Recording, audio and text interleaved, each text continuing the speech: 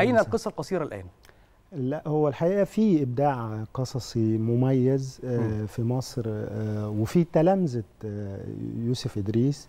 يعني الحقيقة طبعا يوسف إدريس علامة فارقة في الإبداع العربي وفي القصة القصيرة بالتحديد. هو كان متنوع يعني أنتج في القصة القصيرة في الرواية المسرح. في المسرح مقالات صحفية مهمة نموذج للمثقف العضوي الملتحم بقضايا اللحظة وكل الشؤون الفكرية والسياسية وكل أمور المجتمع.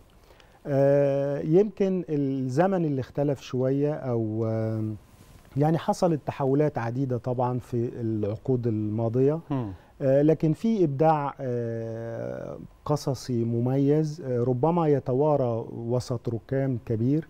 يعني في أسماء الحقيقة مهمة منها مثلا الدكتور محمد المخزندي وده طبيب وكان برضو من تلامذته وهو يعني في تقديري يعني كاتب له مستوى ربما عالمي في وجهة نظري.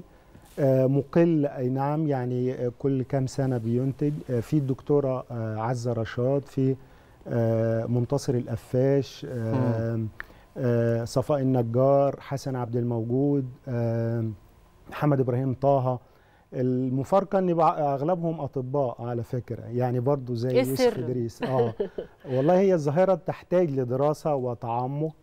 آه يعني هنلاقي مثلا دكتور عزه رشاد طبيبة دكتور محمد المخزنجي يمكن ما مارسش الطب لكن هو طبيب أيضا.